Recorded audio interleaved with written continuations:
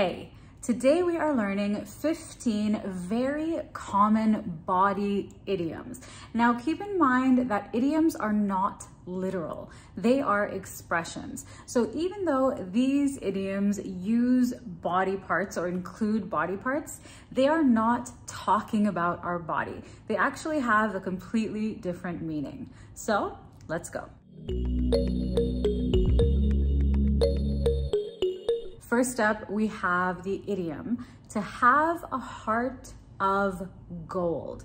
Now, if someone has a heart of gold, if you have a heart of gold, this means that you are kind, generous, compassionate. You are a very good person at heart, all right? So for example, even though he looks tough, he's a really sweet guy. He has a heart of gold. Even though he looks tough, he is a really sweet guy.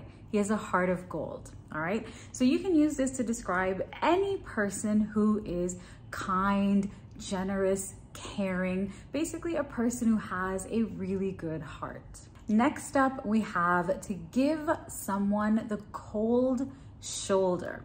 Now, if you give someone the cold shoulder, it means that you are intentionally ignoring them or keeping a distance from them. You're trying to sort of stay away from that person on purpose. For example, ever since our argument, she's been giving me the cold shoulder. Ever since our argument, she's been giving me the cold shoulder. So again, to give someone the cold shoulder, you can use this one when you are intentionally avoiding someone. Next is to get something off your chest. To get something off your chest. All right. Now, to get something off your chest, this means to confess or to talk about something that has been bothering you emotionally. So maybe something that has been stressing you out, upsetting you, it's really been on your mind, it's weighing heavily on your mind, and you need to basically talk about it to de stress or not think so much about it. So, for example, you might say to someone, Listen, I really need to get this off my chest. I need to get something off my chest. And then you go ahead and tell them something that has been bothering you. So for instance, let's say that you lied to someone, okay? You lied to a friend and you've been feeling really guilty or feeling really badly about it. And you want to come clean. This is another idiom. You want to basically confess or admit um, that you have lied to them and it's really been bothering you.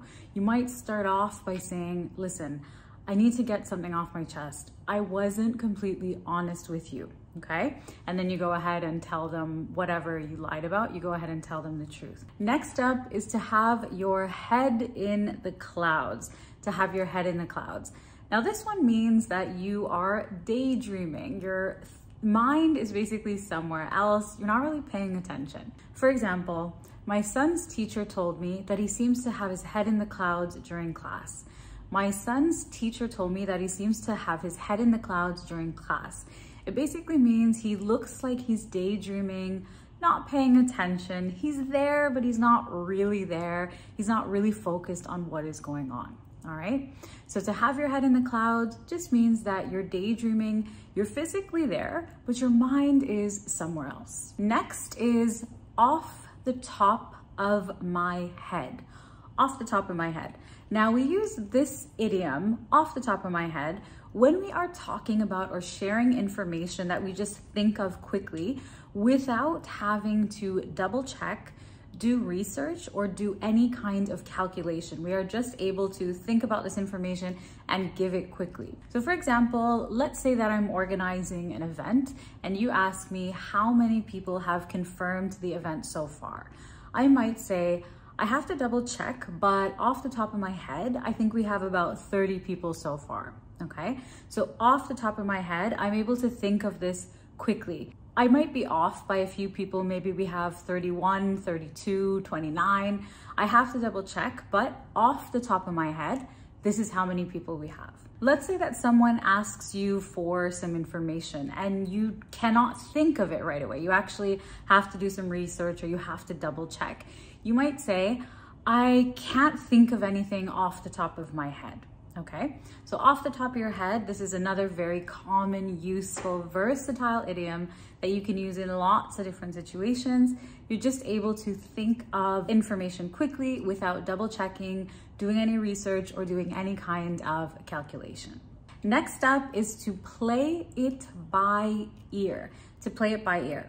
Now, to play it by ear just means to see how things go without having a clear or strict plan. Basically, to just make decisions as you go along, all right?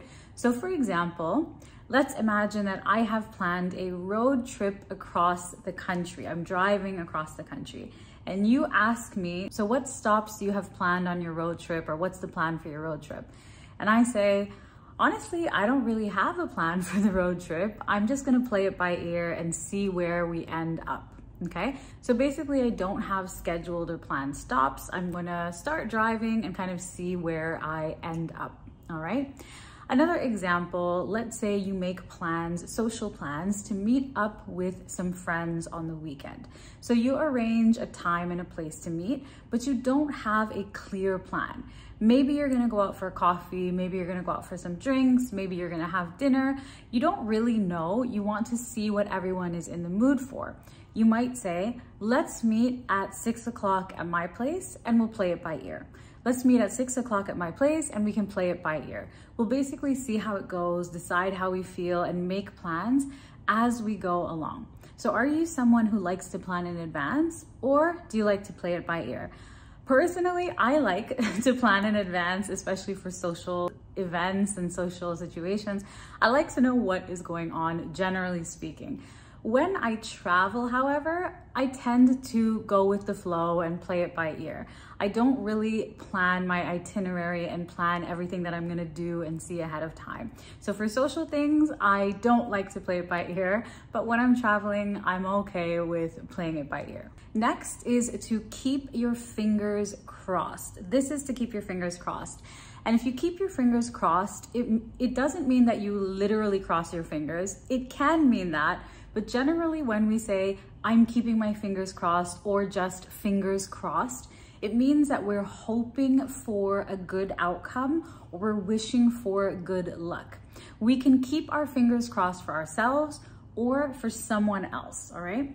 So for example, I've really been studying hard for this exam, so fingers crossed, I'll do well or I'll be keeping my fingers crossed that I'll do well. So it's common to shorten this one and simply say fingers crossed, okay? Or I will be keeping my fingers crossed. So another example, let's say that a friend of yours has a job interview. You might say fingers crossed or I'll be keeping my fingers crossed for you.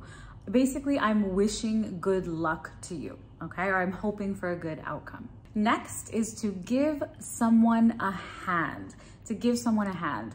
This one is very, very common. It basically means to offer someone help or assistance with something. It's very easy to use. Instead of saying, can you help me? It's very common to say, can you give me a hand with this, all right?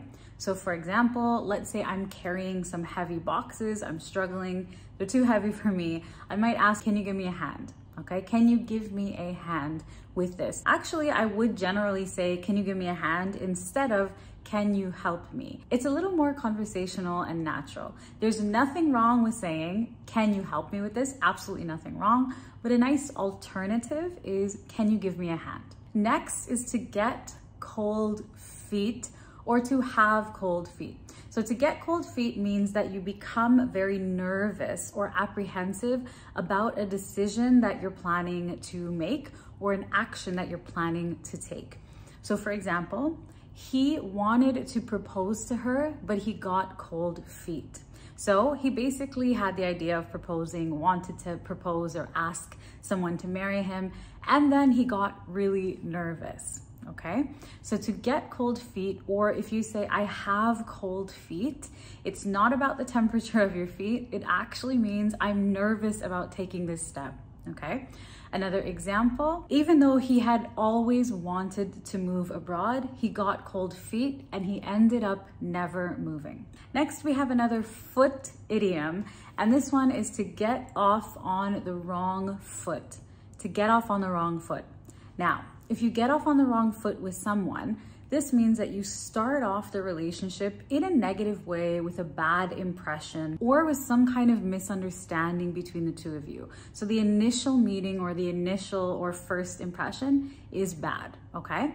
So for example, I think I got off on the wrong foot with my new boss. He doesn't seem too happy about my first project.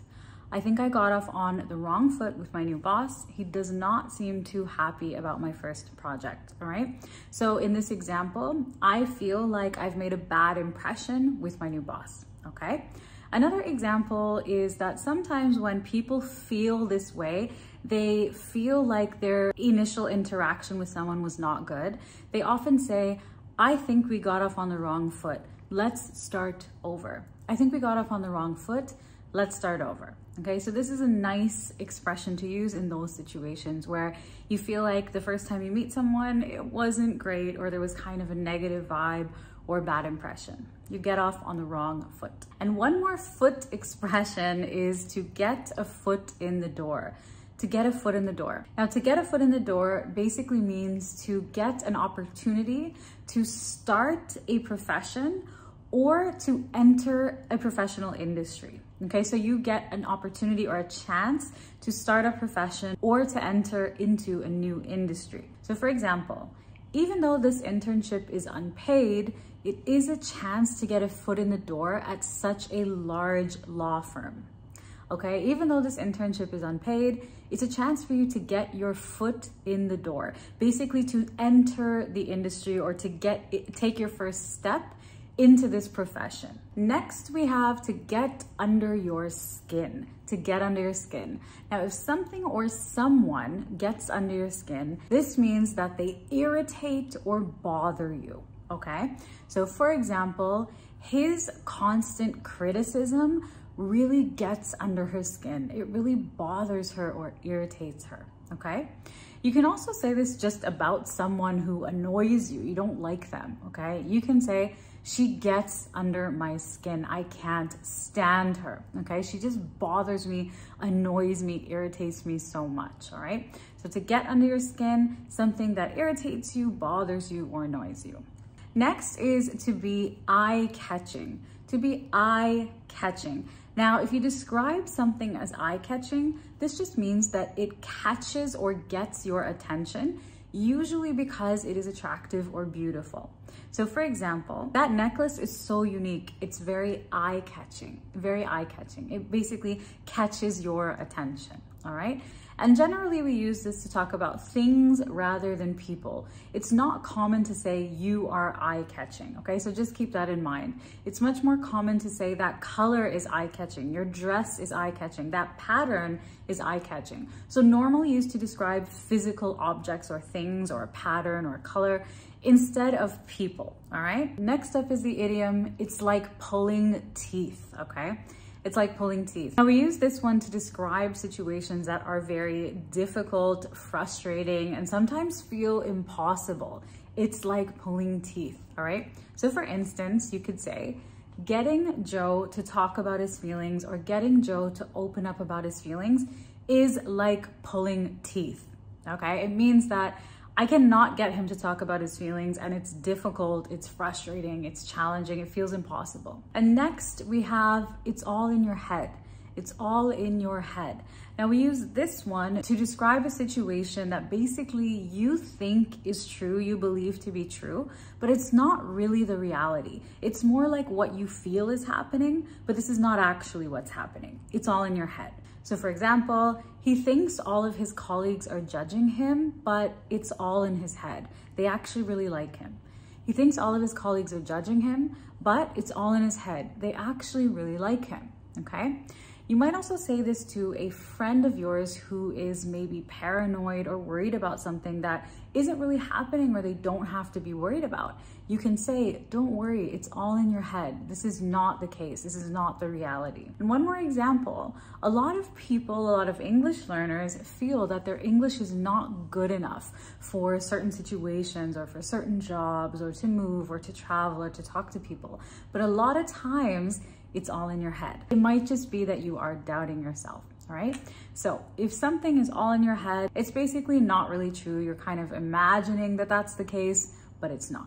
If you are trying to improve your English vocabulary range and learn lots more natural expressions, natural idioms, phrasal verbs, make sure to check out the weekly English Words membership created by myself and teacher Tiffani. This is a self-study online membership. You can learn at your own pace and the purpose of the weekly English Words membership is to help you improve your vocabulary range in the context of natural conversations.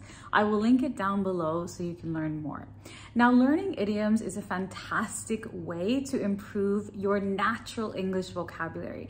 And even if it doesn't come naturally to you at first to use idioms, that is okay. It is important, however, to understand them because if you watch TV shows or movies or read books or articles or use social media in English, I guarantee you that you will hear idioms and expressions all the time. So you don't have to learn, uh, you know, long lists of hundreds of them right away.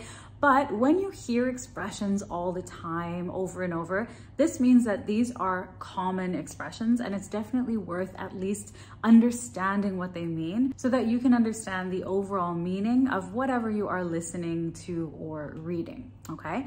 And of course, when you are comfortable or confident with using idioms, I recommend implementing them into your speech. You will sound more natural, even though at first they might seem a little bit strange. And keep in mind that idioms, as I said at the beginning of today's video, are not literal, okay? They are expressions that have a different meaning. So when you translate them, they might not make any sense. If you enjoyed today's video, make sure you give it a like and subscribe so you don't miss new lessons every single week.